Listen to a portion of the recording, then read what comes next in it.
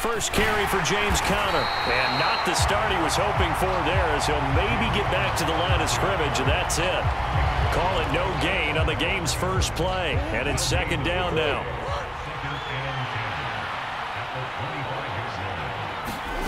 To throw, it's Murray. And he can't find anywhere to go with it, and he goes down. They'll wind up losing 10 on the sack, and it'll lead to a third and long.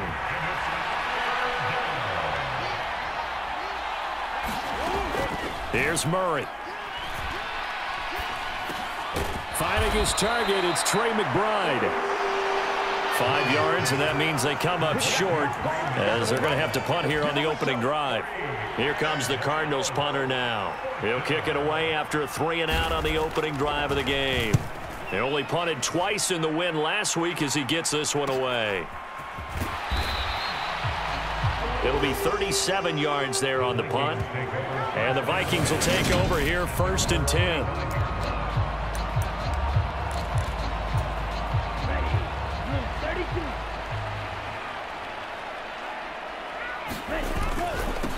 Here's Cook as they begin on the ground. And great blocking downfield as he's got this almost to the 35-yard line.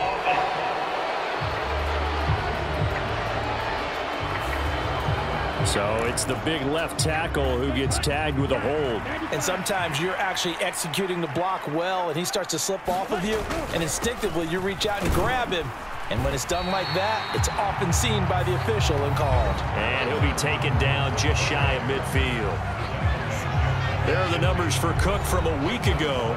One rushing touchdown, yes, but look at the rushing yards. He was up near 200. The one phrase I'd use to describe that performance, he carved up that defense. From just shy of midfield, Mond. That's complete to Justin Jefferson. And he's going to be taken down right at the 40-yard line.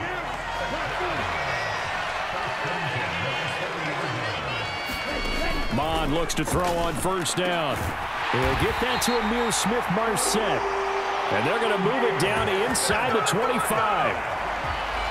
But one of the ways that quarterbacks keep all the receivers alive in a play, never lock in on any one guy. Make sure you keep your eyes moving, scan the field.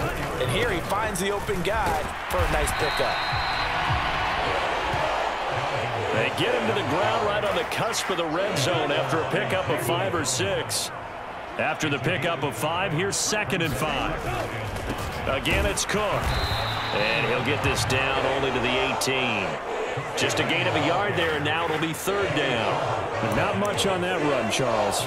No, that's exactly the way to execute a run blitz there. They guessed correctly that they would move the ball on the ground, honed in on it, and stopped them. Mark that down for a win in the defense's column. And he's got his tight end. That's Smith. Touchdown, Vikings. Irv Smith Jr., his first touchdown on the year. And the Vikings are on the board first here this afternoon. Santos able to tack on the extra point, and it's now a 7-0 game. Now after the touchdown, here, Santos to kick this one away.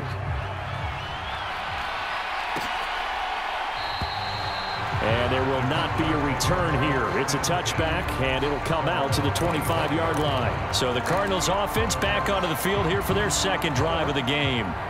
And the last drive, the first drive for them, not very good. Three and out. What do they go to here? Well, you don't look down at your play sheet and say, this is what the problem is. Yeah, let's find out who my playmakers are. Get the ball in their hands, and maybe the offense will move a little bit Sometimes better. it's more important to get it to the right people rather than dialing up the right number. Exactly. Or the, the right play, yeah. That too. Ball on the 30. They'll come up with a second and five.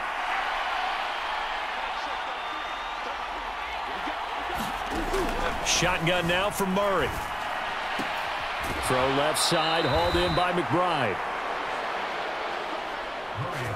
And he gets this up across the 35 before he's out of bounds. So from the 36 now, first and 10. Here's Conner on the read option. Now, during that run, an injury here. We got one of those big blockers in some discomfort. The medical staff will attend to him, and we will step aside. From the 39, Murray. He's got McBride here over the middle. A busy first quarter. His third catch of the afternoon is a first down.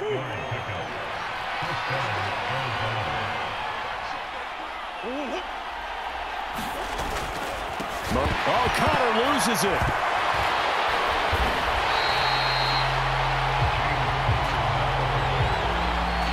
Wow, that ball gets knocked free, but a teammate comes along and scoops it up. Almost like, it's almost like baseball. Guys at bat, people are on base in scoring position. One guy doesn't get him home. The next guy comes through and picks him up. And avoids the turnover. And he'll be brought down, losing yardage back at the 40. Just a one-yard loss that time, but that's not what they needed. Now they're dealing with a third and long.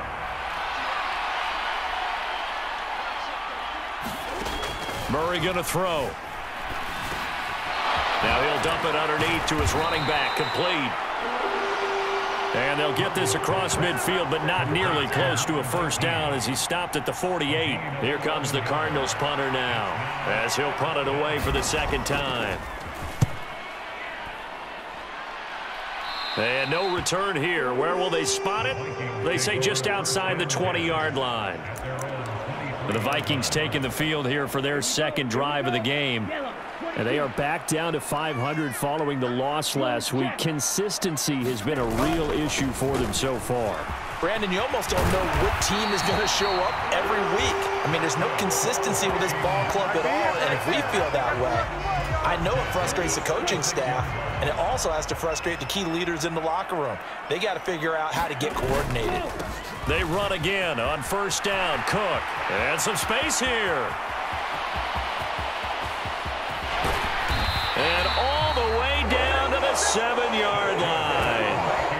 Two yards rushing now for the NFL leader coming into this ball game.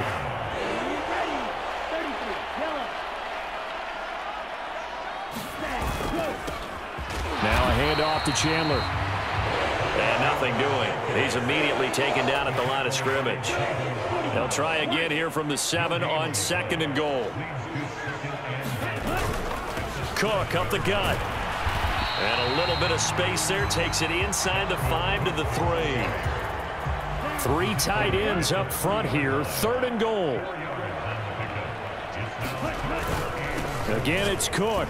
And not a whole lot there as they'll get him down at about the two. Only a yard there, so it brings up fourth and goal. I'm looking down from our booth. You can tell this crowd wants them to go for it right now. and believe me, he knows it. And he's weighing that through his head right now. Actually trying to filter that out because this needs to be a cold decision by him.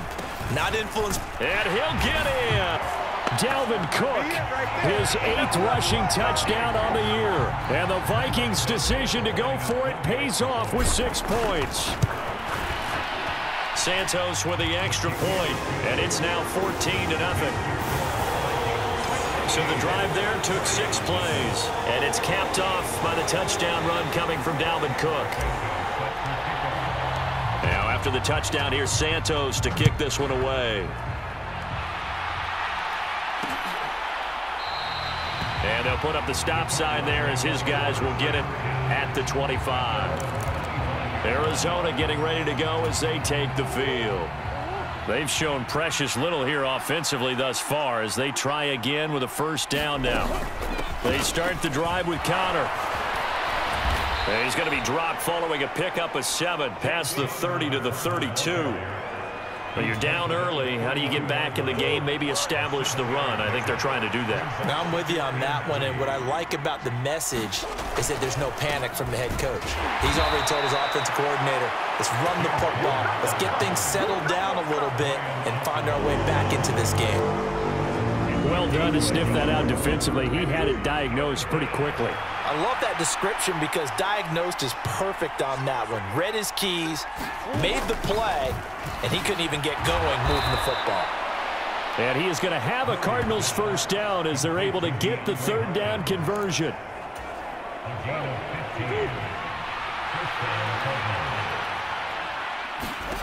On first and 10, here's Murray. Able to get this one to McBride. And he'll be taken down, but not before they work this to the 45.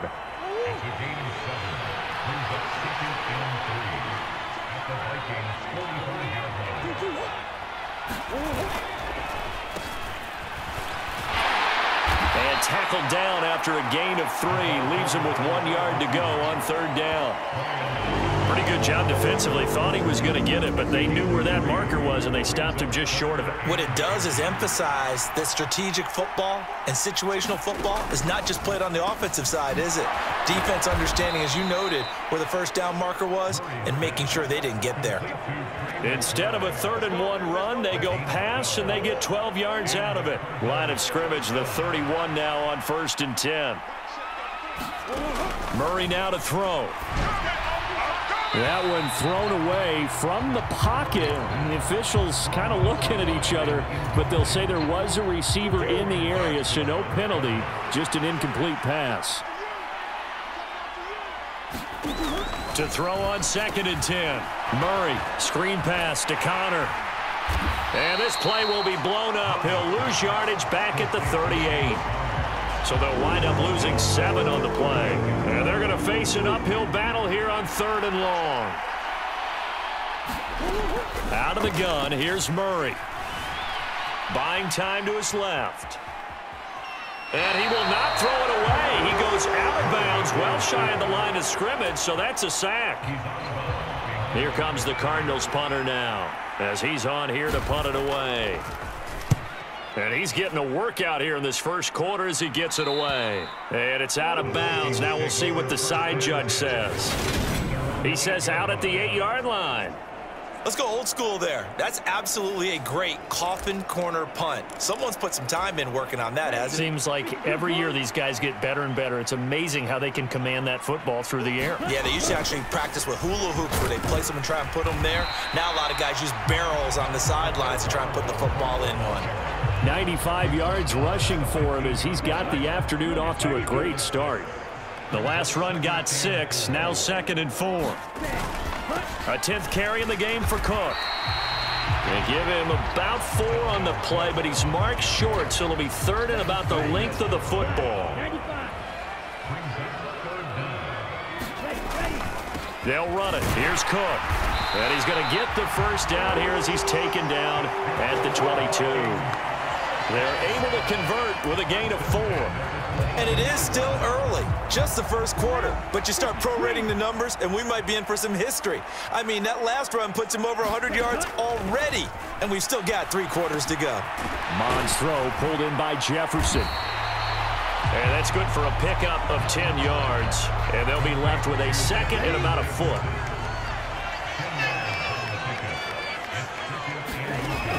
Mond going to throw it. And this throw incomplete. Well, the defender all over him that time, and it's going to lead to third down. Brandon, we saw these defenders flying to the football in their win last week, and nothing has changed. They're still moving around quickly and forcing incompletions.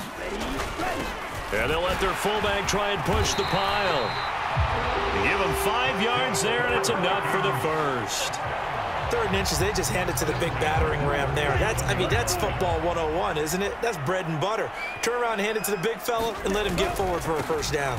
First down, here's the run with Cook. And he fights forward for a modest two-yard gain, second down. Well, this defense for the Cardinals, they played really well in that win last week against Miami. Yeah, what stood out to me on tape the way they were flying to the football. So that tells me that they've got all their assignments down, and they're playing with extreme confidence. And they're able to work this across midfield to the 48. And that was good protection there. No, that was great protection there because it allowed him to lock in on his receiver, although I think he was looking for his tight end on the corner route all the way. Nice connection there for a really nice gain. And they'll get him down here at about the 42. It's a seven-yard carry to set them up with a second and three.